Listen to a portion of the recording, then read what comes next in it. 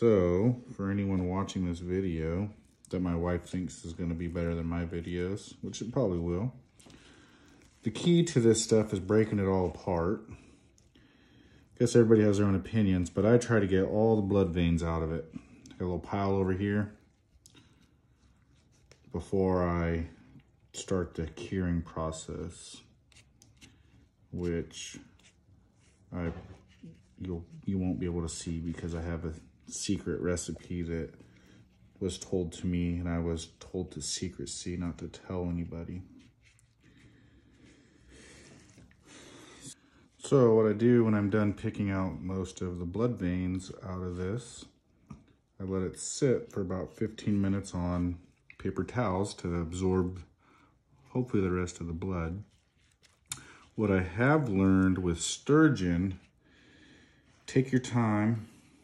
They are very finicky. They're very picky. And the more time you put into making your roe, I've learned the more fish I catch. When I half-ass my roe and just throw it together, I don't catch as, I still catch, but I don't catch nearly what I do if I actually put the time and effort into making roe. Oh, and the cat. Sometimes you gotta fight the cat. Off my table. He knows he's not allowed up here. So then you let it sit for about 15 minutes or so.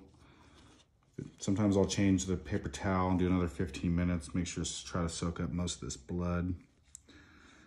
I was told by the guy that taught me that sturgeon do not like the blood in the roe.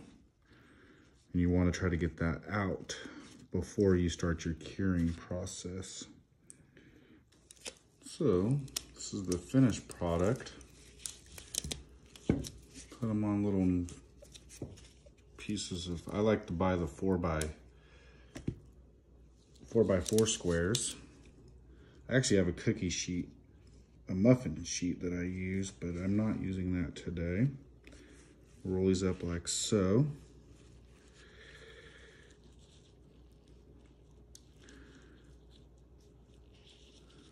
Kind of tie them up like so. And then I also use different color netting for, because I do different blends, because sometimes they might not like what I'm proposing to them. So I'll switch it up to different roes that I have made up with different cures. So I wrap around twice. Sometimes you do three. Sometimes I do once. Sometimes I don't do it at all. I'm using stretchy string right now. I don't like this stuff. I have more of a thread one too, but I'm all out. And then two more times. I don't know. You can do as many times as you want. I've done it as much as only four times and it's held. Sometimes it does, sometimes it don't.